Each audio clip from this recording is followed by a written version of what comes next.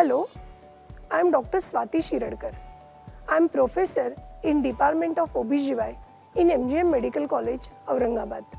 Today, in videos, we are going to see the clinical assessment of female pelvis.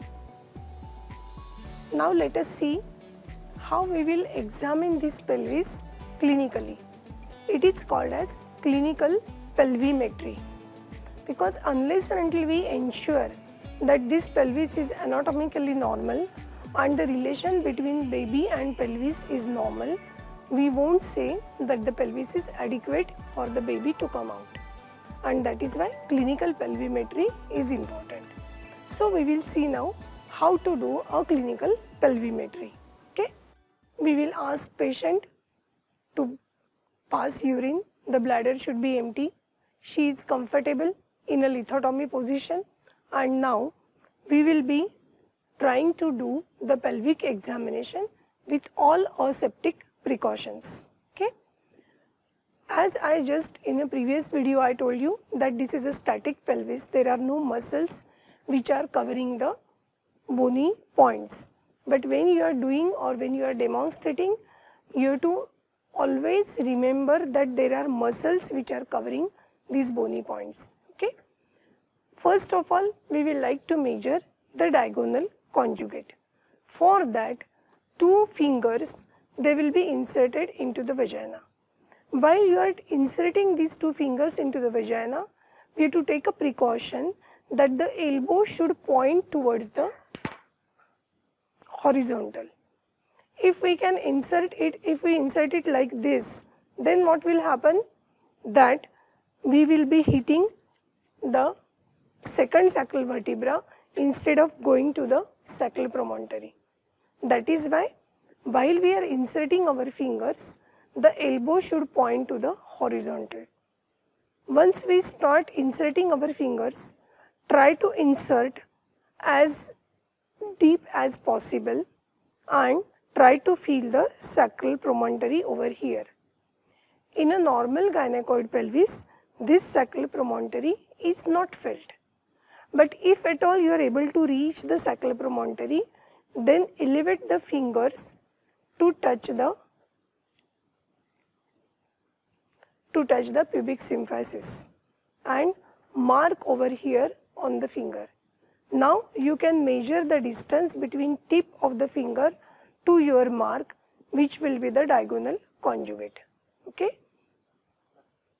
Now we will be seeing the curve of the sacrum. Without removing the fingers, come down over the sacral curve. This sacral curve should be uniform and it should be having adequate depth. Again go up without removing the fingers and go to the lateral border of the pelvis. Move the fingers on the lateral borders of the pelvis. These lateral borders, they should be either going outwards or they should be straight. If the lateral border is coming like this, it is called as convergent. If it is straight or if it is going out, then the cavity and outlet will be adequate. So, we have seen the lateral border. Now, try to feel these two ischial spines at the same time with the wide fingers. We have inserted two fingers into the vagina. So, just move them like this and try to feel two ischial spines at the same time. If we are able to feel these two ischial spines at the same time means the distance will be less than 10 centimeters. Normally these two ischial spines are not felt at the same time. Now what we are going to see is we know that this distance between two ischial tuberosities is more than the interspinous diameter. So what we do is coming out we will see whether our four knuckles they can be accommodated into two ischial tuberosities easily okay again here there will be gluteal muscle that is why I will be able to accommodate only four knuckles. Now see for this subpubic angle. this subpubic angle should be wide.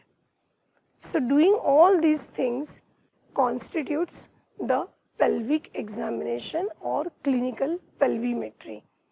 And if the sacral promontory is not rich, if the sacral curve is good or deep, if the lateral pelvic walls they are either straight or they are divergent, if two sacral spines are not felt at one time, if I can accommodate four knuckles into two ischial tuberosities and if the subpubic angle is wide, then I say that this is a normal gynecoid pelvis.